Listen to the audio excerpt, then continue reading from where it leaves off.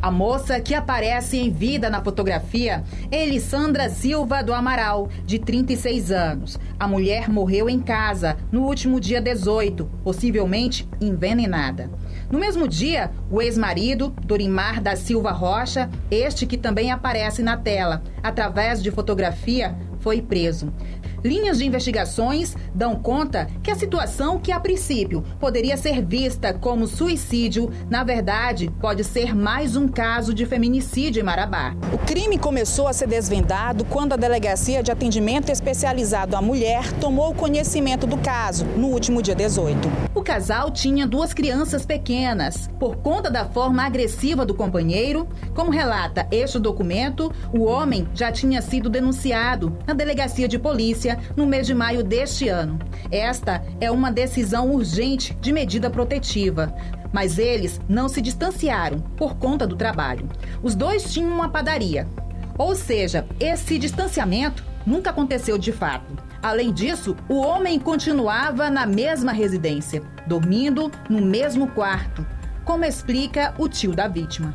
Aqui era a cama que o, o casal dormia, só que ele não deixava ela dormir na cama. Ele tirava um colchão um colchão até de, de espessura nem pro animal dormir em cima, entendeu? Ele colocava no chão, ela dormia no chão com as duas crianças enquanto uh, o, o bonito dormia na cama em cima, entendeu? Com medo, Elisandra ainda tentou instalar câmeras de segurança. Mas, de acordo com a família, o ex-marido descobriu e logo tratou de desativar os equipamentos. A família tentou intervir como pôde para evitar a tragédia, mas também sofria ameaças. Ele ameaçou a matar ela quando ela estava grávida do, do, último filho que ela teve com ele, por cinco vezes, entendeu? Tentou ameaçar ela de morte, que ia matar ela, ia matar os dois filhos, e qualquer um da família que se entrasse, ele ia se transformar em um Lázaro, entendeu? Uma pessoa dessa, ele tem rastro pra gente achar que foi ele, entendeu? Ninguém tá acusando ele, mas vai, cabe aí o Ministério Público e a Polícia Civil é, saber realmente o acontecido. As desconfianças da família faz a mesma unir uma série de provas.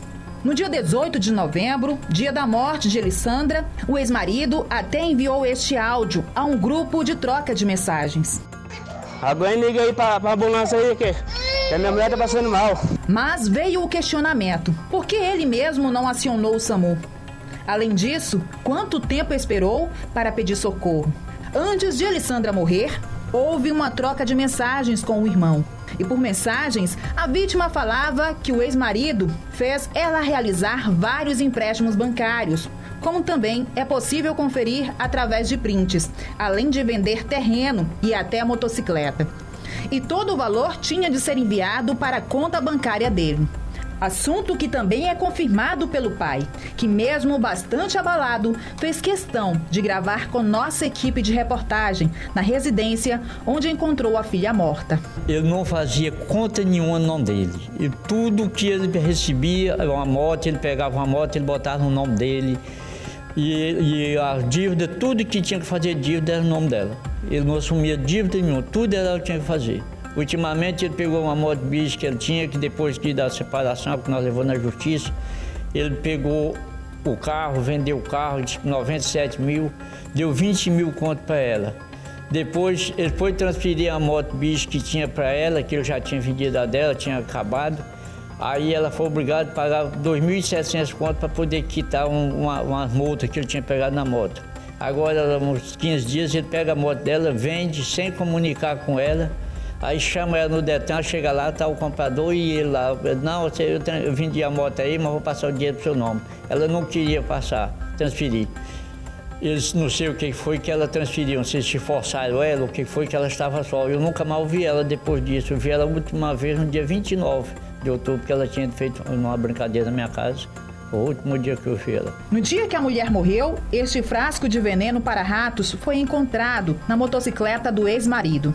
Mas só o inquérito, diante de investigações aprofundadas da Polícia Civil, vai confirmar se estamos diante de um caso de suicídio ou feminicídio. Jamais passaria pela cabeça dela ela própria tirar sua vida. Isso aí não entra na nossa mente.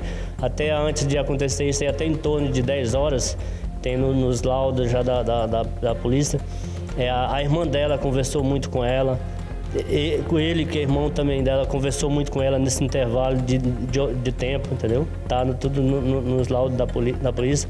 E eu espero que o Ministério Público se empenhe realmente, a Polícia Civil, até o momento está de parabéns de, de, do trabalho que está sendo feito.